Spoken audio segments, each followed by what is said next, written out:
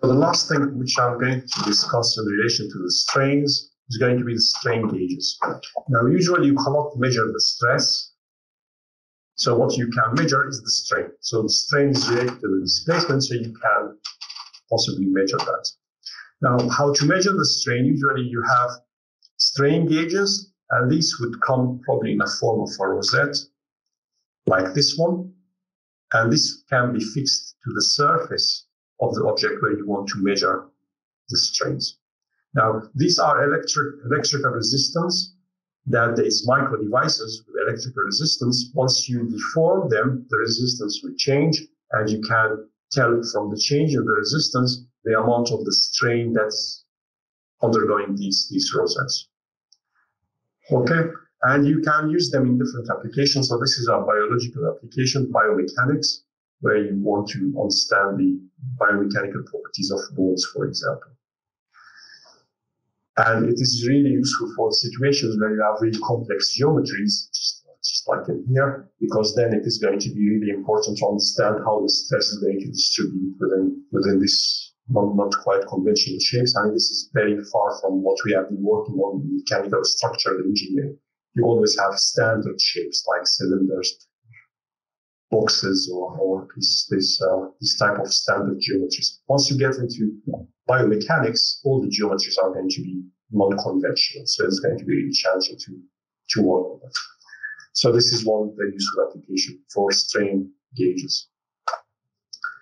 Now, you fix the strain gauge to the surface, so you can measure the strain on the surface. Because this is measuring the strain on the surface is going to result into some strain tensor that is going to look like this. E11, E12, and 0, E21, E22, and 0. And then in the third direction, you only have zeros. So the strain so the strain tensor on the surface is going to look exactly like this. And then you measure that in a specific direction. So you measure the strain in a specific direction. Assume that you measure, well, the measurement you have is going to be probably E1. Then you just need to link this E1 to this strain tensor. So to do that, you can write this or project this strain tensor in a specific coordinate system, x1 and x2.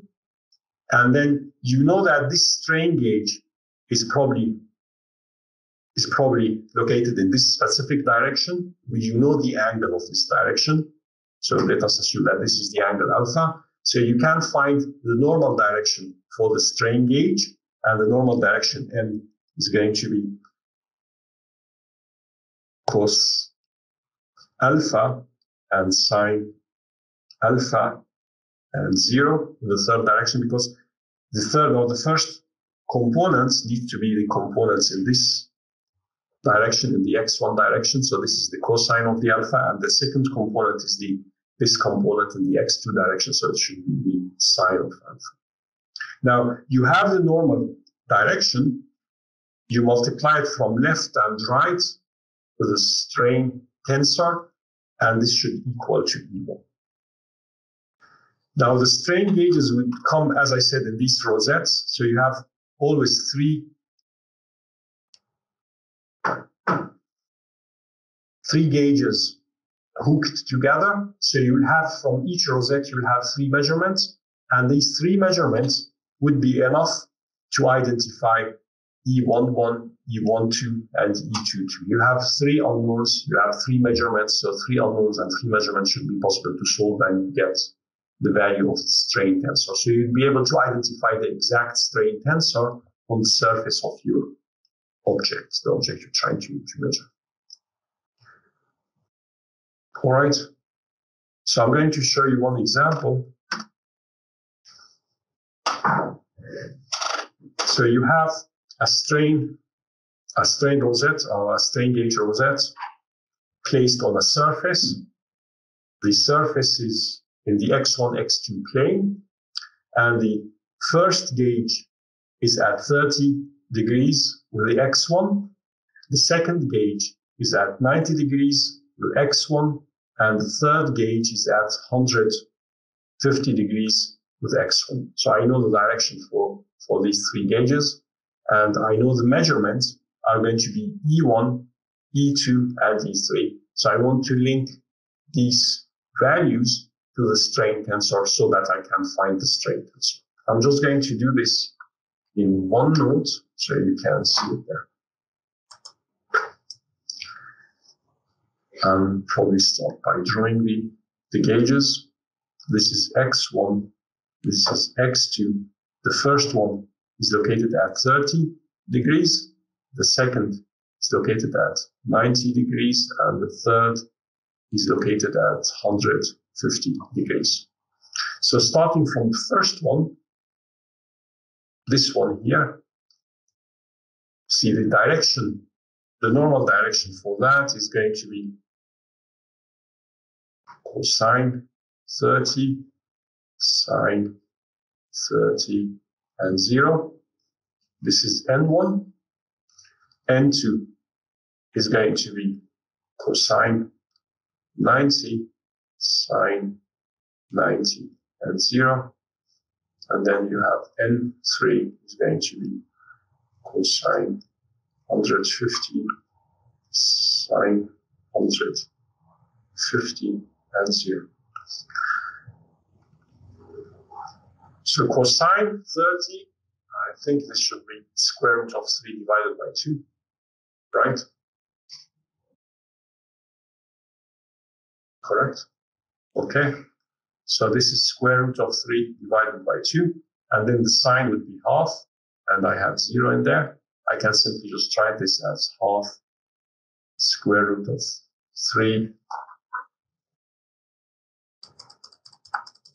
Oops.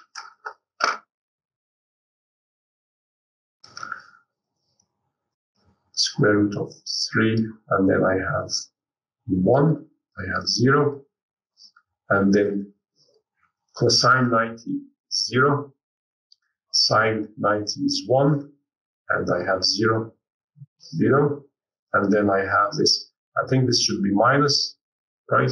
Minus square root of 3, minus square root of 3, and then this should be half, and this should be 0. All right, so I have N1, N2, and N3. Supposedly I have the measurements E1, E2, and E3. I can link them to the strain tensor in the X1, X2 plane. So this is going to be E11, E12, 0, E21, E22, and 0, and then 0, 0, 0 for the rest of it. So the first, or for for my first measurement, I'm going to take N1.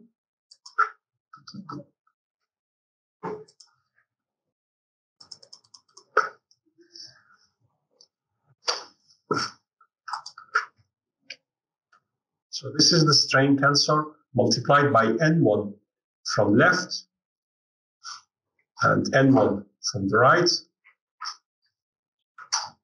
So it is half here half here, I have the square root of 3 and then 1, 0, square root of 3, 1, 0. And this should be equal to E1. So the measurements I have from the first strain gauge. So this is E11 multiplied by,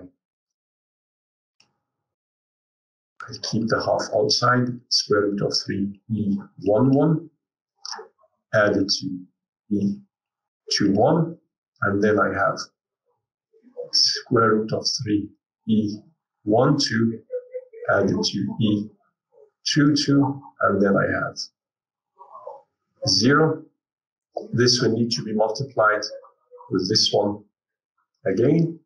So I have half multiplied by half. This is 1 over 4.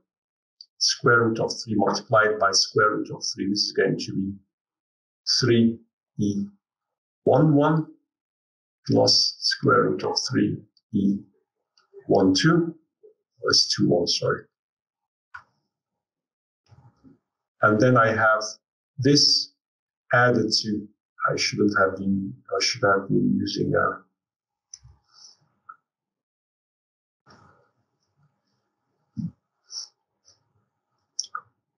all right so this is the first entry, this one multiplied by this one, and then I add that to 1 multiplied by this. So this is square root of 3 multiplied by e 1, 2, and then added to e 2, 2. And finally, I have 0 multiplied by 0, which is not going to add any, anything to that. So I have e1 to be equal to 1 over 4 multiplied by 3e1 of 3e11 added to this one and this one, they are equal. So I can just add 2 square root of 3. I can choose either 1, 2 or 2, 1. It would not make any difference. And then I have added to e 2, 2. So I've got my first equation. The second equation, I probably just put it inside a box. So I know that this is my first equation. And the second equation, I do the same for E2. So this one is multiplied by 0, 1, 0, and 0, 1, 0 from left and right, and this would be equal to E2. So in this case, I have E2 1, and then E2 2, and then 0. This is multiplied by this vector. This one will cancel this one. This one will give me E2 2, and this one is equal to 0. So this will result into E2 2, and then I have E2 2 is equal to E2. So the measurement I'm going to have from the second gauge is immediately going to give me the normal components in the t direction. Okay, so this is already one of my unknowns. And then the last equation, I can get the E3 from. So this is 1 over 2 square root of 3 negative. Was it negative?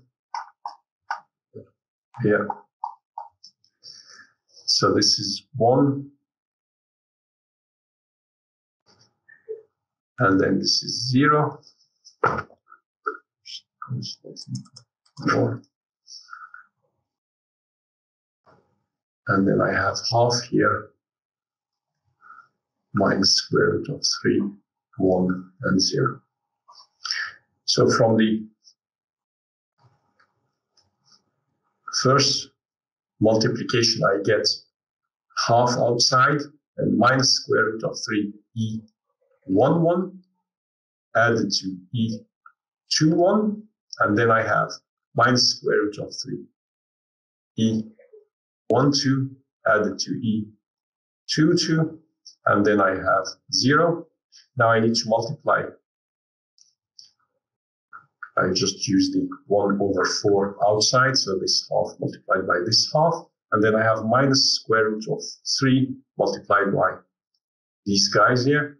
So this will be then minus square root of 3 multiplied by minus square root of 3. This is going to be plus 3 e 1 1, and then I have minus square root of 3 multiplied by e 2 1.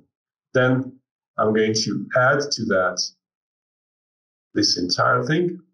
So it is minus square root of 3 multiplied by e1, 2, added to e2, 2.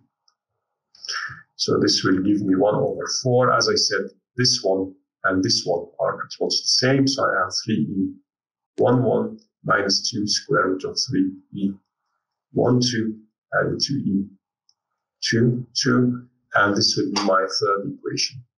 So this is the measurement I have from the third strain gauge and the third equation. Oops.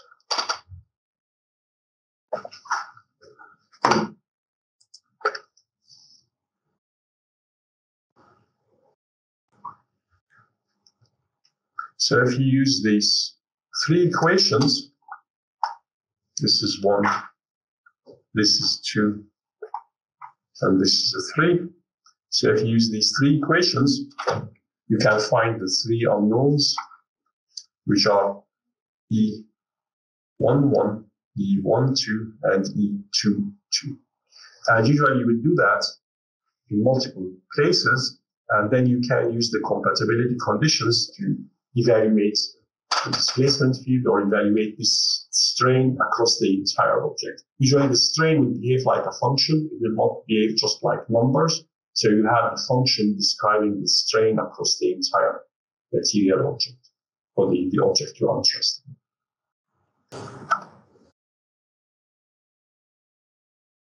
Here, so this is